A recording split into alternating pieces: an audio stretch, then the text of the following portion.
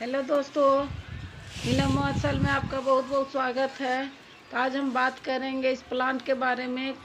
देखिए दोस्तों, इसका ग्रोथ देखिए कितना अच्छा हो गया है। बहुत ज़्यादा इसका ग्रोथ बढ़ गया है। इसका रूट बॉन्डिंग कहते हैं, जो इसका रूट पूरी तरह से बंध गया है। तो इसको हम आज रिपोर्टिंग करेंगे। तो चलिए बताते हैं कि इसको किस तरह से करना है। तो देखिए दोस्तों, इसको मैंने निकाल ली हूँ। और इसको पूरी तरह से जड़ को इधर से उधर सभी सभी जगह से इसको छांट दूँगी, क्योंकि इसको जब तक नहीं छाटूँगी, मिट्टी नहीं निकलेगा, तब तक इसको कुछ भी नहीं ग्रोथ बढ़ सकता है। तो इसलिए पहले इसको मैं काट देती हूँ। और देख रहे दोस्तों, इसमें कितना ज़्यादा अंदर से बाहर तक पूरी तरह से जकड़ लिया है। तो आप सोच रहे होंगे कि प्लांट क्या है? तो प्लांट इसका नाम है केवड़ा। जो केवड़ा के नाम आप सुने होंगे, इसको इतर भी बनता है। इत्र केवड़ा के नाम से आता है और इसको खासियत ये है इसमें खुशबू अच्छी होती है। और ये प्लांट का जो कटिंग होता है, बिल्कुल स्प्राइडर की तरह होती है। इसको तो मैं प्रूनिंग पूरी तरह से कर चुकी हूँ, इसलिए इस तरह से लग रहा है। इसमें बेबी प्लांट बहुत ज़्यादा होती है। तो देखिए, इसको मैं एक अलग से निकाल लूँगी। अगर आप चाहो तो इसको अलग अलग पूरी तरह से लगा सकते हैं। लेकिन मुझे इतना की ज़रूरी नहीं है। थोड़ा सा मैं इसको एक प्लांट सिर्फ़ अलग करूँगी। इसको अलग कंटेनर में लगाऊँगी। तो इसमें बेबी प्लांट इतना होती है कि मतलब बहुत छोटा छोटा कि आप चाहे तो एक से अनेक भी कर सकते हैं। तो इसको आप फिर रिपोर्टिंग करना है तो किस मिट्टी में करें। तो बात यहाँ पर आती है कि सबसे पहला बात है कि इसमें बिल्कुल लो मेंटेनेंस का पौधा है। इसमें कोई मेंटेनेंस नहीं खोजता है। तो इसको सिर्फ़ आप पानी देते रहिए, महीना, दो महीना में खाद दे दीजिए और गोबर की खाद दे दीजिए, लिक्विड कोई खाद दे दीजिए, बस इतना ही में ये अपना ग्रोथ बढ़ाते रहता है। क्योंकि बहुत ये हार्डली प्लांट होता है। और ये धूप में अच्छी तरह से ग्रोथ करता है। कोई दिक्कत इसको नहीं होती है। देखिए, मैंने एक प्लांट अलग कर लिए हैं। कर ली हूँ क्योंकि इसको मैं अलग लगाऊँगी, इसको अलग कंटेनर में लगाऊँगी। तो इसको सॉइल की अगर बात करें तो इसमें सिर्फ़ आप सत्तर परसेंट सॉइल दे दीजिए गार्डन वाला और बीस परसेंट आप इसमें गोबर खाद दे दीजिए, बीस परसेंट रेत दे दीजिए। रेत भी इसलिए देते हैं कि वेल ड्रेन सॉइल रहता है, वो बहुत अच्छा रहता है। इसको नमी उतना भी पसंद नहीं है, इसलिए इसको वेल ड्रेन होना बहुत ज़रूरी होता है। तो कंटेनर में देखिए, मैं इसको अलग लगा रही हूँ, इसको मिट्टी को मैंने मिला कर रखी हुई हूँ। इस तरह से आप ले लीजिए प्लांट को सिर्फ़ बिठा दीजिए। बिठाने के बाद इसमें मिट्टी डाल दीजिए। मिट्टी डालने के बाद इसमें पानी डाल दीजिए, इसको कोई दिक्कत नहीं है, अपना ग्रोथ बना लेगा थोड़ा सा इसको एक दो घंटा के लिए छाँव में रख दीजिए। तो दोस्तों, अगर अनेक करना है तो इसी तरह से आप कीजिए और अपना प्लांट को बढ़ाइए। और दूसरी बात आती है यहाँ पर इसको पानी डालने के बाद अब उस प्लांट को हमें रिपोर्टिंग करना है। तो इसको अब चलिए कुछ बात कर लेते हैं।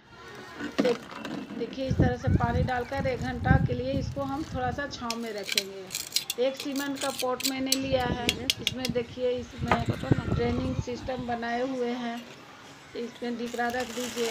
और आप मिट्टी जो सॉइल हमने बनाए हैं वही सॉइल डाल रही हूँ। इस तरह से लेकर इसमें बिठाना है एडजस्ट करना है देखती हूँ, पुराता है कि नहीं आता है। देखिए, इस तरह से बिठा लीजिए। और इसको आप मिट्टी डाल दीजिए चारों पट्टी से। अब मिट्टी डालने के बाद आप इसमें क्या करनी है कि इसकी जितनी भी पीली पत्ती नज़र आ रही है, इसको आप कट कर दीजिए।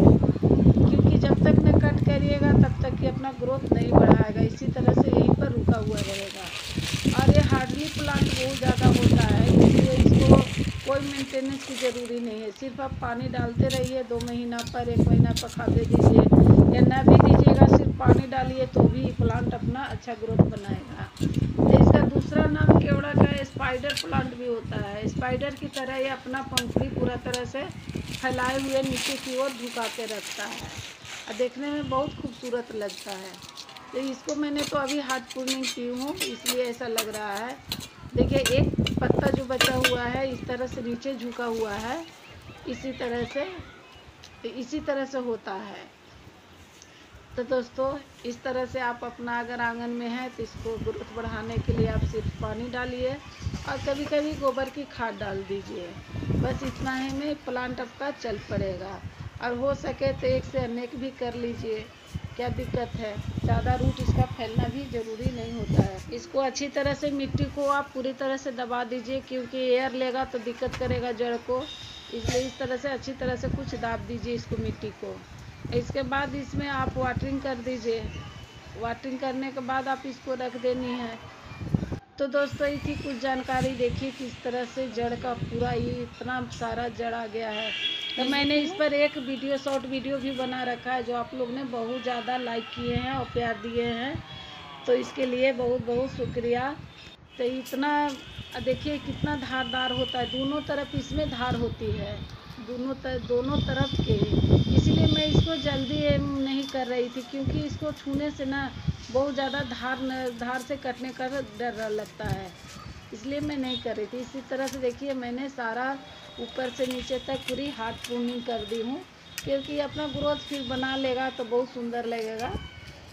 तो दोस्तों ये थी कुछ जानकारी, और आप इसको अब वाटरिंग करके और किनारे अपना थोड़ा सा एक दो घंटा के लिए आप रख दीजिए, न तो न भी रख सकते हैं, क्योंकि ऐसे भी ये चल पड़ेगा। आई जो पॉट देख रहे हैं वो मैंने खुद से बनाई हुई हूँ। इसको मैंने ट्राई किया था बनाने के लिए। तो इस तरह से मेरा पौधा, सभी पौधा देखिए कितना हरा भरा है। और बस इतना ही। अगर वीडियो पसंद आए तो लाइक कीजिए, सब्सक्राइब कीजिए और ज़्यादा से ज़्यादा शेयर कीजिए। तो फिर मिलते हैं अगले वीडियो